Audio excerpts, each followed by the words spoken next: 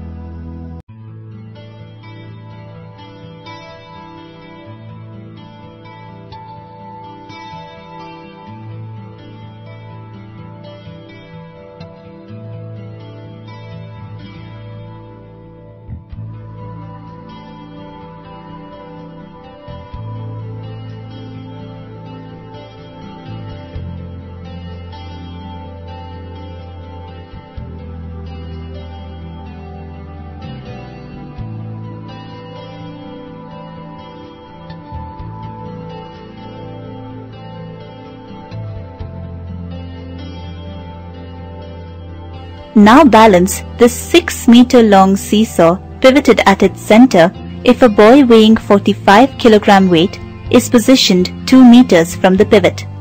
Choose the boy he should play with to balance the seesaw by keying in the weight in the space provided.